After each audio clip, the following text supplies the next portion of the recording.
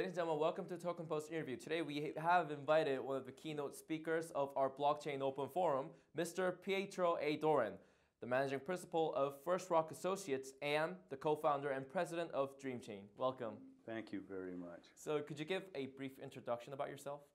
Uh, well, first of all, uh, 안녕하세요. Pietro Doran uh, 이고, uh, managing principal First Rock Associates입니다. uh, I've been in Korea uh, really working and living, raising families, and doing everything uh, for nearly 23 years. Uh, I was Korea's first, I created for Korea's first uh, real estate uh, advisory company. Um, I created its first 100% foreign owned real estate advisory and then moved on to investment banking and to smart city developments through Songdo, and then to raising my own private equity funds, all involving real estate I'm in curious. Korea. I'm curious to ask about your project in Songdo. Sure, everybody. So which always- part? I mean, of course. So which part in Songdo project did you take part in? Well, I was a founding partner, so there was no.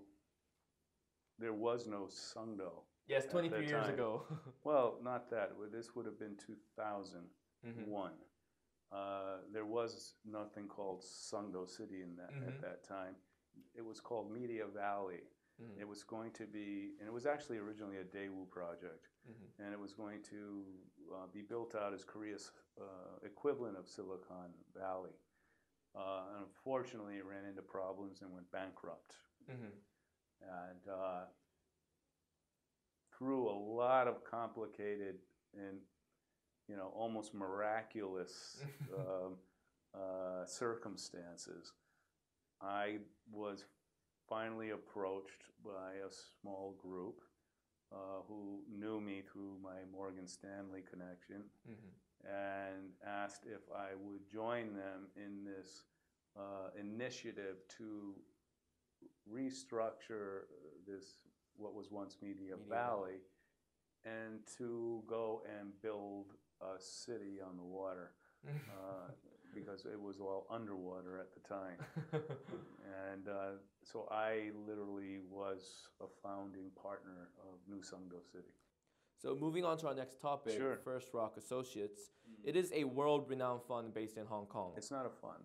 Uh, we're an investment management company. oh, investment management company. We operate in all all sectors of the real estate, including uh, capital, uh, you know, investment, Mhm. um, planning, um, structuring of, of, of investments on Mhm. behalf of Koreans and third parties to Mhm. make development, acquisition, management uh, as as efficient as possible. That's what we do. Mhm. And you are the managing principal of this firm. Right. So, on your perspective, from uh, personally, what is your take on Korean real estate? That's a good one because I've been here since 1993. Mhm. when I was literally the first foreigner to even think about setting up a real estate business in a market at the time that was considered the most insular Mhm. country in Asia. And it had just transitioned from basically dictatorship Mhm. uh, into first stage of what became one of Asia's most dynamic democracies. Mhm. Uh, so it was a really interesting time to be there. And the government had instituted policies to put the average, I think the housing ratio at the time, the people who lived in houses that needed houses, Mhm. um, was only 40%. Mhm. And they, they initiated, I think it was called, I think it was the 2 Million Homes Initiative or something.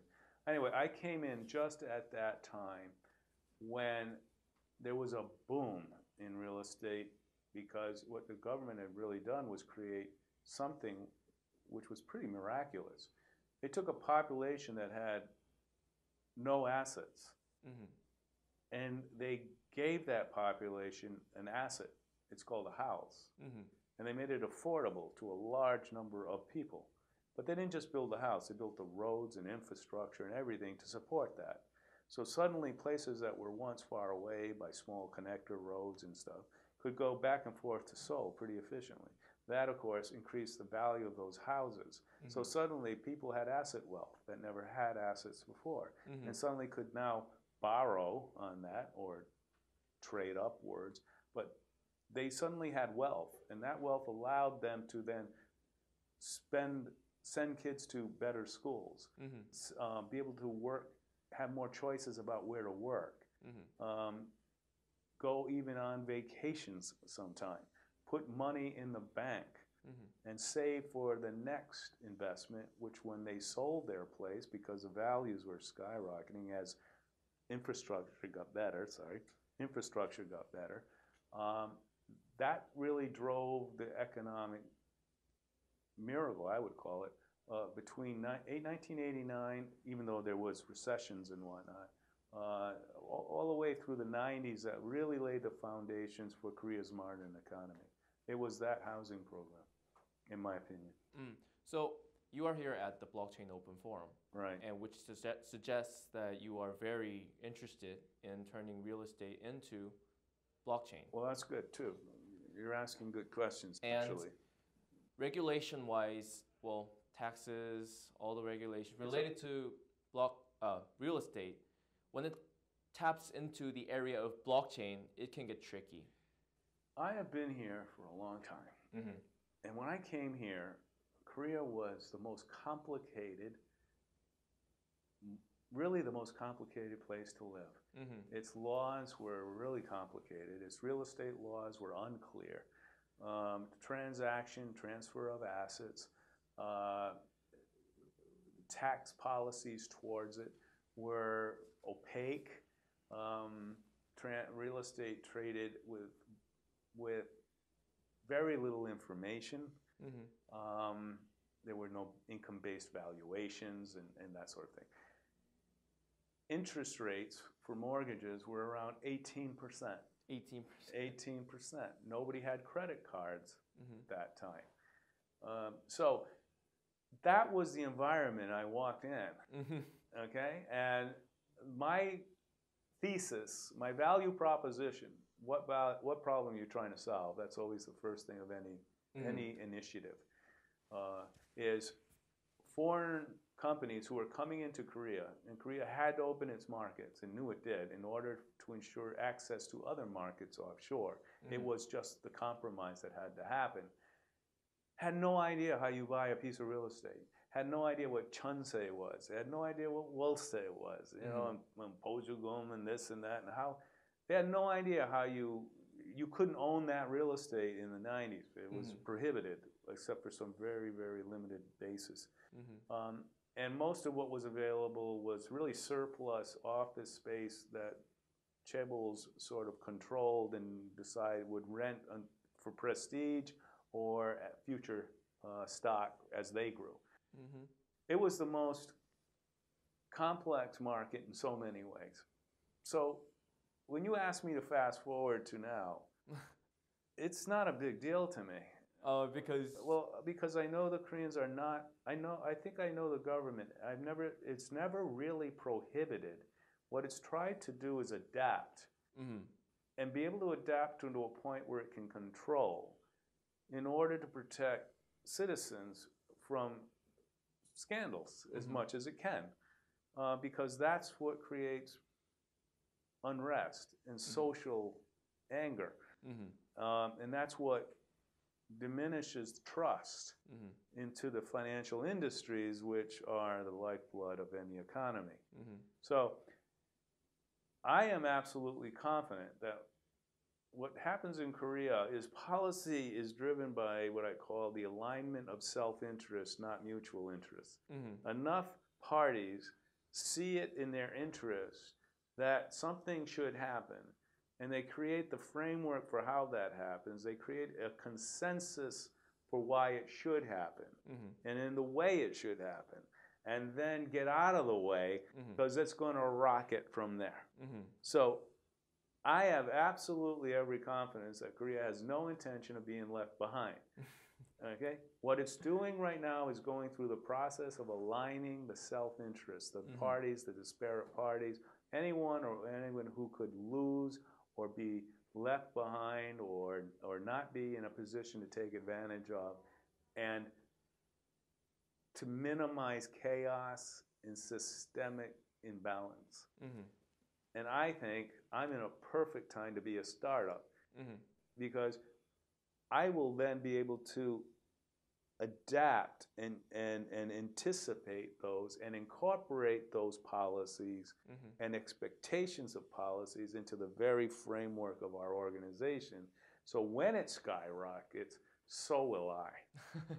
so, in your past days, you emphasized greatly on the timing of investments. And I'm pretty sure you gave a little bit of answer to this question, but is it time to invest in real estate or real estate related crypto? Oh, real estate Well, related crypto. That's I kind mean, of like crypto overall then. Well, no. I would argue there's almost no real estate crypto at this point anyway. Mhm. As you may have heard in my panel, uh, one of my key questions are, was, is there really any real estate platform on the blockchain that's truly up and running at scale? Yes. And the answer is no. hmm Okay. So first of all, you, you probably really can't find a, a viable crypto anyway hmm at this point. I would say there's always good timing in any market. hmm You just have to truly understand. You have to ask yourself, why are you investing in this particular asset? Hmm Whether it's you're buying bundles of, see, real estate's complicated. You're buying bundles of loans, which is real estate, hmm uh, or you're buying a building, or you're buying uh, uh, a long-term management lease. hmm Where's the state of distribution? Is that changing? Does it need to change? Does it need better efficiencies that you can now build? And because the market's changed, but Mhm. the old, if you look at the logistic pricing of older logistics, it's crashing. hmm Uh, you see, there's always an arbitrage. hmm It's just you must always be seeing the whole market and looking for those moments of arbitrage. So there's never the great time, or there's the best thing that ever happened to me was the IMF hmm because suddenly hundreds of investment funds from around the world came to Korea. And I was the only real estate company at the time. There was no CBREs or LaSalle's or any of those people. And I ended up selling my business to Morgan Stanley and becoming Morgan Stanley overnight.